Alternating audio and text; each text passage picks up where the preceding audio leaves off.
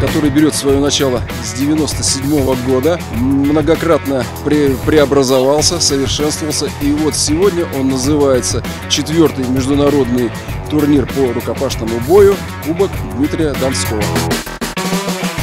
В этом году мы отмечаем 15-летие Международной Федерации рукопашного боя. Приятно, что э, в данном случае в Москве происходит серия международных турниров. Всегда участвует большое количество спортсменов из разных стран, и этот год не стал исключением.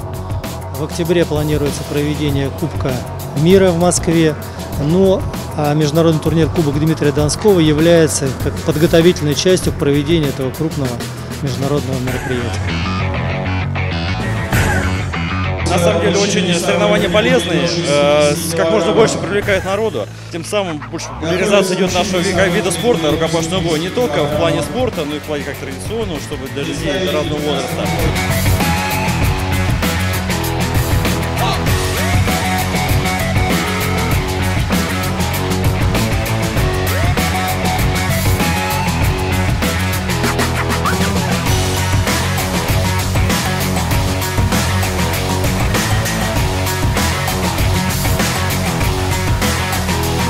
Очень рад, что победил в дисциплине самооборона.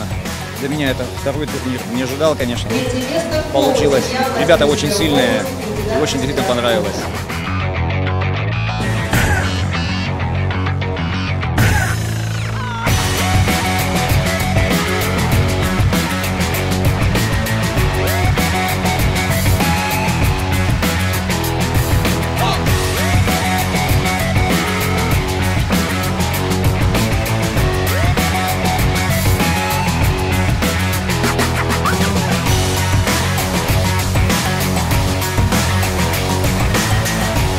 Занимайтесь спортом, ребята. Занимайтесь рукопашным боем.